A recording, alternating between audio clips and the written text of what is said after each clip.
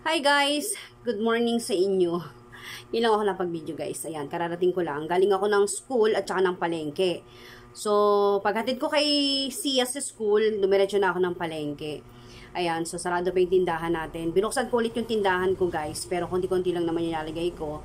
And then, wala na talaga akong tagpipiso. Tinanggal ko muna kasi si Mr. Mainit ang ulo. Ayan.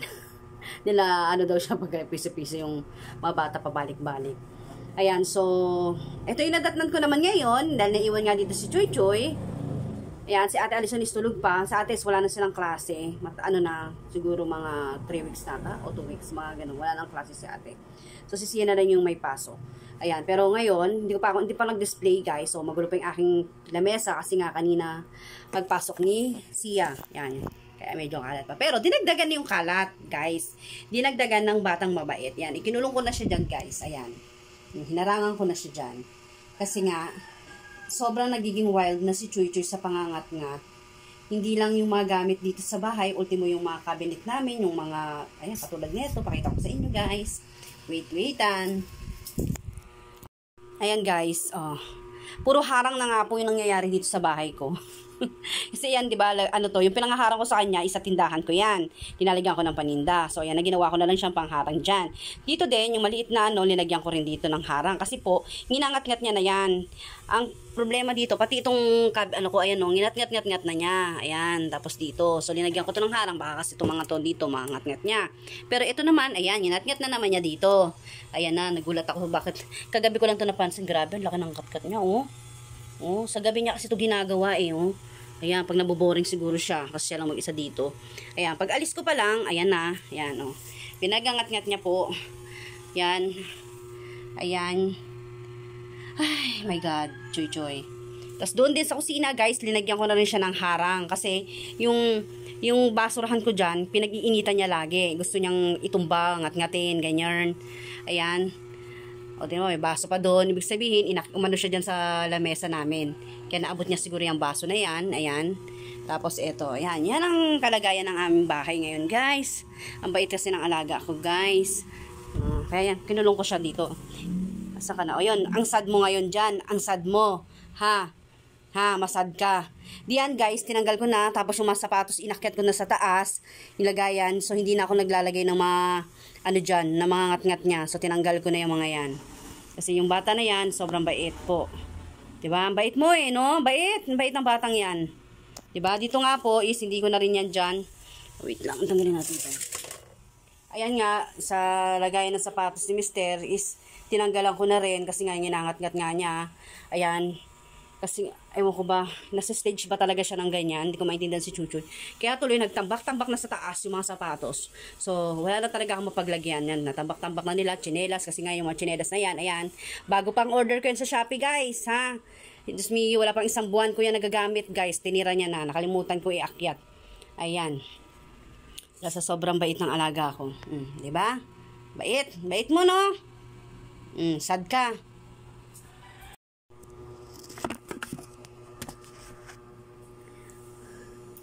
Kaya yan, kaya kagabi, hindi ko, na, hindi ko matandaan, ay hindi ko maano, kung paano siya nakalabas dyan sa harang na yan. Pagising ko kaninang umaga, nandito na siya sa labas. Tinanong ko si mister kung siya ba yung naglabas kay Jujoy, hindi naman daw. Ayan, pero ewan ko lang, baka itong mga bata na to. Diba? Sobrang ano, hindi, hindi na alam gagawin kay Jujoy. Ayaw ko naman siyang anuhin, ikulong talaga, yung bilan ng kulong kasi naawa ako. Hindi mo sanay na nakakulong talaga yung aso. Ayan, tapos tatalian sa leeg. Nung problema din ako. Kasi nga, binilan ko yan siya dati ng, binilan ni ate ng pang ano ba, na sa tali. Nginat-ngat niya, naputol sa Shopee. Saglit lang, wala pang isang araw. O, hindi pa mabot talaga ng dalawang araw. Ganon, ngat-ngat niya na kaagad, naputol niya kaagad. So, sabi ko kay Papa, maghanap na lang siya ng mas makapal-kapal doon para hindi niya mangangat-ngat, di ba? Kaya ayan. Ano problema ba ang nanay nyo? Sisira niya yung mga gamit dito sa bahay. Yan. Ayan, namili ako. Bumili ako ng isda. Kasi gusto ko tong isda na to magpapaksiw ako. Hindi ko alam kung anong isda na yan. Yung pula. Ayan, sariwa pa siya. Sakto, natsambahan ko. Kaya magpapaksiw tayo. Tapos bumili ako ng ah ito ng pechay. Tapos may tofu din ako na binili. Bibili sana ako ng tilapia kasi gusto ko siyang itinola. Yun nga ihalo ko nga itong pechay. Kaya rin pagpunta ko doon, um, hindi ko na gustuhan yung tilapia nila. Tapos ano na, yung um, gusto kasi yung buhay, buhay yung tilapia. Tapos hindi ganun ka, ano mismo, kalalaki. Eh, sobrang lalaki nung manandun, parang hindi ko siya feel. So, it, buti na nakita ko tong isda na to. Yan, yan na yung ating ulam ngayong tanghali. Ayan. Pero usually hanggang gabi na namin ulam yan guys. Kasi lalo na yung tilapia na yan. Tapos bumili, ay tilapia tuloy. Ano ba yung isda na yan? Bisugo ba yan? Basta ganun. Tapos ito bumili ako ng tokwa. Ayan. So, kain muna tayo. Bumili ako. Buti may nabutan pa akong pandesal. Nakabila akong pandesal sa bihon. Yan ang almusal natin ngayon. Tapos ito mga pinamili natin. Mamaya ako na-display. Hindi ko man ilalagay doon sa ano sa tindahan. Kasi si Chuchu, nangat-ngatin niya yan. Alam niya naman yung bata na yan.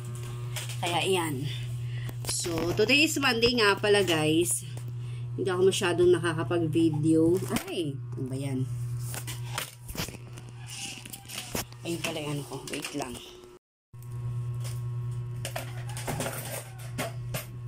Ayan, hindi ako masyado pang nakaka-video ngayon guys kasi medyo busy-busyhan pa. Ano ba yan? Ilatrek pa ko. Nakaka...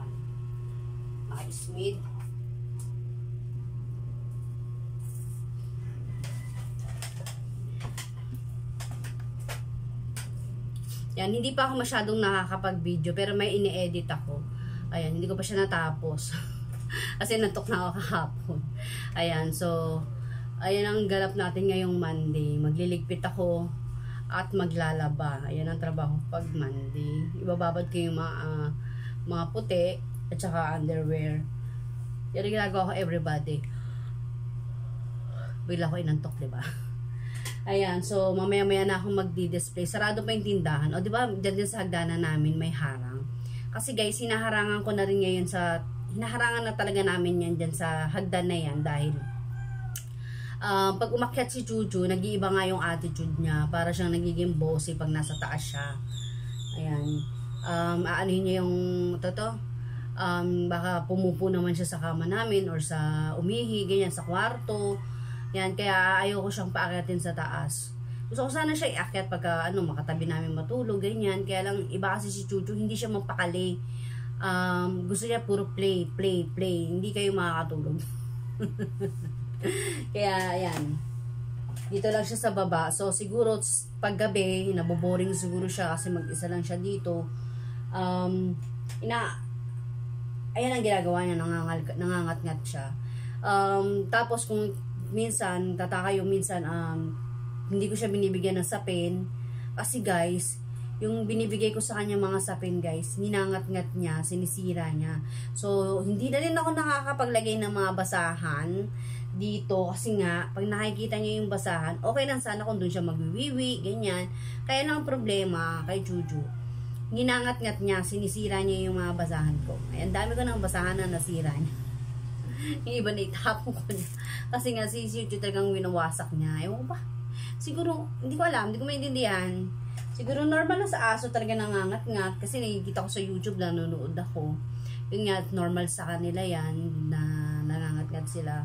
Pero sa Chuchu, nagigigil ako. Pero love na love ko yan. Mamaya, Chuchu, maligo ka ha. Ayan, uh, makulimlim ngayon. Um, kaya inaano ko na baka umulan na naman. Pagpasok nga namin ni Sia, umu umuulan eh. Pero hindi naman malakas. Hindi naman malakas, kaya okay lang. Kaya mamaya, papaliguan na lang namin si Juju. Nasanay na yung maligo sa ulan, pero wag sa ulan. Dito na siya sa CR, baka sipunin siya. Arty siya eh. Pero pagka may ulan, gusto niya lalabas na siya pag may ulan. Silaray kasi nila. Ayan, so magkape muna tayo. Ayan, almusal muna tayo. Kasi mamaya, sasabak tayo sa trabaho no? So, papat lang ako ng damit kasi pawisang namin. Ayan, see you later muna, guys.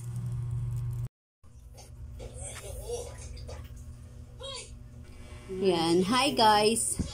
Ayan, after ko mag-breakfast kanina, ayan, ito naman yung inasikaso ko. Uh, sinimento ko itong ano namin, tiles ng lababo. Dahil nga uh, nabasag yung tiles niya dyan, nasira na, so tinanggal na nga namin. Kaya lang kasi nakapalubog siya yung pagkakaano niya kasi nga di ba wala ng tiles, hindi na pantay. So, ito lang muna yung ginawa ko. Nagsimento lang muna kami. Ako pala, kasi nga, um, wala rin naman pa kaming ano na pambili ng tiles at saka kung, kung tutuusin naman isang pirasong tiles lang ata yun o dalawa.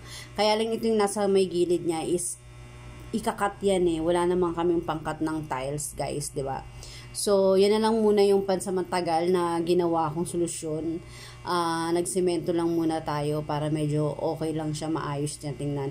At saka kasi, um, para hindi yung tatagas yung tubig sa ilalim niya. Kasi nga, yun yung naging problema namin na um, tumatagas yung tubig sa ilalim kasi nga 'di ba um, tanggal na yung tiles niya. So yan lang muna yung solusyon ng ginawa ko.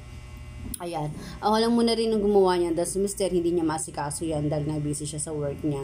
Ano oras na siya nakaka-uwi. So, ayan na lang muna. Ako na lang muna ang gumawa niyan. Ayan. So, kaya-kaya naman. Napaka-easy lang naman gawin yan. Ayan. Tapos, pinalitan ko na rin pala yung gripo namin yan. Um, dati is kulay white yan. So, bumili ako ng bago. Kasi yung nagkaroon na rin yun ng link. Kaya, pinalitan ko na rin yan. So, blue naman yung pinili ko. Para same lang rin sa tubo niya, 'di ba Blue. Ayan. Madali lang rin naman kabit. So, ako lang yung nagkabit. Hindi ko na inasa kay Mister. Ayan. O, diba? Parang ano na. Expert na tayo dyan. Charus. Parang talaga ang galing.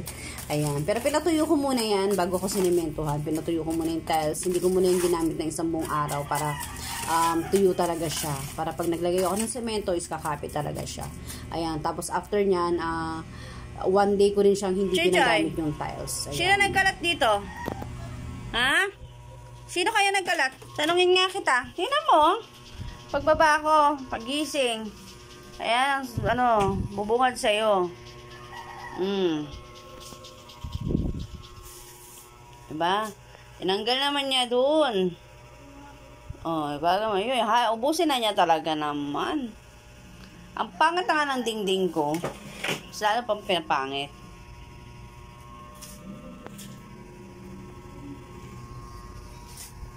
Sino nagkalat nito? Sino nagkalat? Makalat ba? Ang kalat, no? Pansin mo, makalat? Ha? Makalat ba? Ha? Kalat ba? Sino nagkalat kaya niyan? Sino? Sino nagkalat? Ha? Ang kalat, no? Ba ka lang? Oh, makikipaglaro ka pa. Ay, nako. Ano mo pa ako maglaro niyan? Pagkatapos ang ginawa mo rito? Gusto mo pa may paglaro si mama?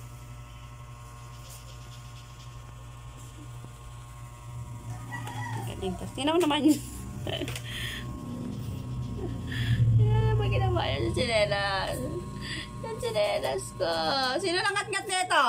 Choy, tina mo. Oh, sino nang ngat-ngat niyan? Salbahay ka.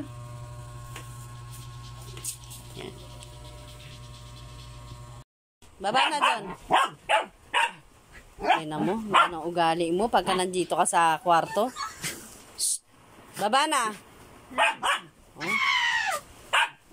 Ay, naaway niya.